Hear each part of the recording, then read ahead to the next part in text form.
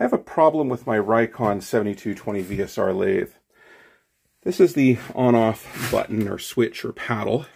And if you listen, whenever you pull the paddle, you hear a click, right? And that's not a relay click because it's unplugged. But if I push it in, I should hear the same click. And I don't.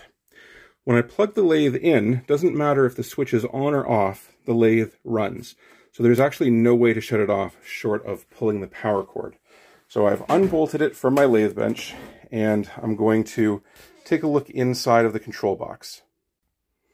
I've got my lathe laying on its back and I'm looking at the control box here. There are a couple of screws in the control box here and there's uh, one up in here. But I think to get the control box out, I think I probably need to undo these screws at the side. That's likely what's holding it on to the rest of the lathe. So I'm going to take those screws out and find out. Those screws were for the control box, so I ended the two screws here and the whole control box pulled out. I had to cut a cable tie, a zip tie that was up here. Those screws, by the way, require an Allen wrench. Fortunately, my Rikon bandsaw actually had the right size Allen wrench as a part of its toolkit, which is stuck to the back of the saw, so that's nice. So lots of sawdust got down there and even a micro mesh pad. I took the four screws out of the lid for the control box and I'm taking a look. So some sawdust is in there, so I'll be sure to get that out of there. But it doesn't look like any got into the switch.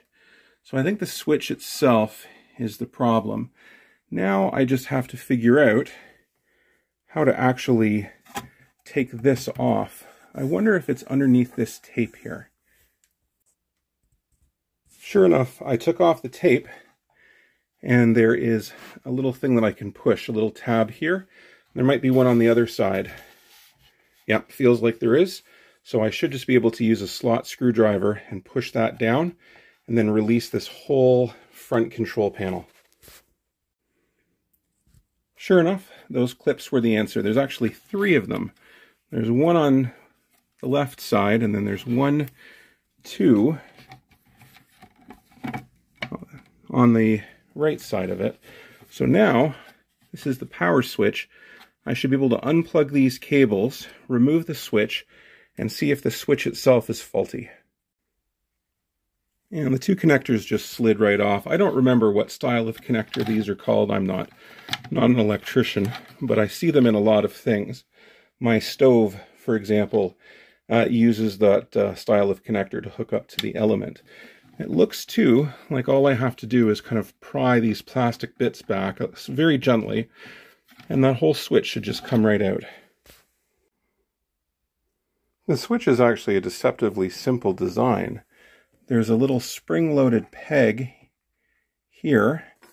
And so when I flip, when the switch is down in the off position, the peg sits up. And when I flip the switch into the on position, so I flip the, the switch up, it actually inverts the peg so the peg goes to the down position and that peg seems to rub in here. And there's a piece of metal on a seesaw type of thing and uh, so it seems to push the seesaw into the contact, right? There's one contact right behind this lead. If the camera would focus on it, behind this lead here. And so when the switch gets flipped up, the peg goes down, which pushes the switch into there. And then when you flip the switch down, the peg goes up and it's supposed to push it off of the lead. And for whatever reason, in my case, it wasn't pushing it off of the lead. I'm going to take a look at it and clean it up and see if it will work without me having to buy a replacement. All I did was just make sure that that little piece of metal that rocks on a teeter-totter was cleaned up.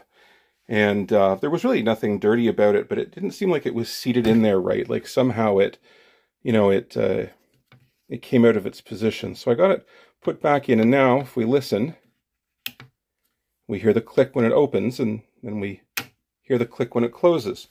I'm going to grab my multimeter and check for continuity. Need about three hands for this. So I've got my multimeter leads touched to the um, you know uh, to the things on the switch. So now I flip the switch up. We hear the multimeter saying we've got continuity and it turns off.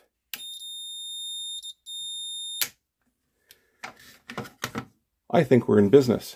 I'm going to put it back together and see if my lathe behaves properly. I also put some electrical tape back where there had been some that I took off.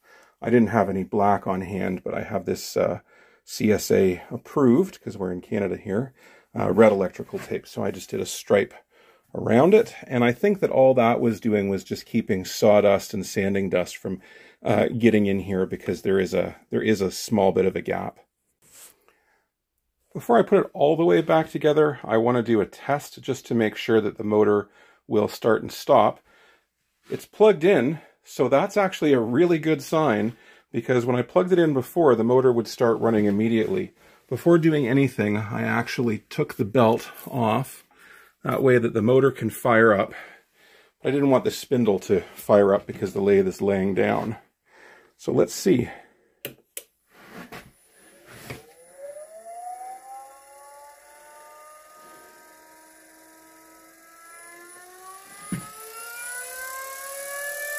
Beauty. And now the proof is in the pudding.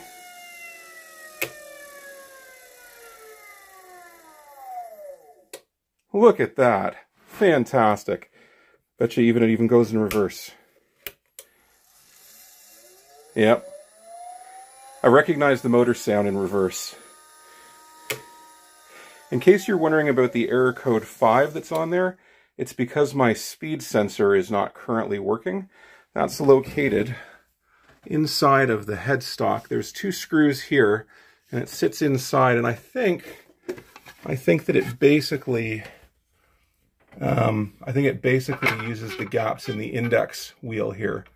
Um, but it's, it's not currently working, but I don't mind. I know the speed ranges, and uh, I know it feels right for turning, so I'm not too worried about that.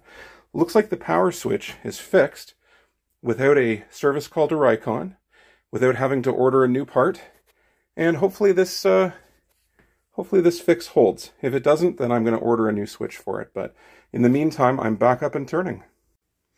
Just to give a few wrap-up thoughts on the repair, the lathe is really easy to repair. It was very easy to get at the control box, just a couple of screws, and the control box is very well laid out.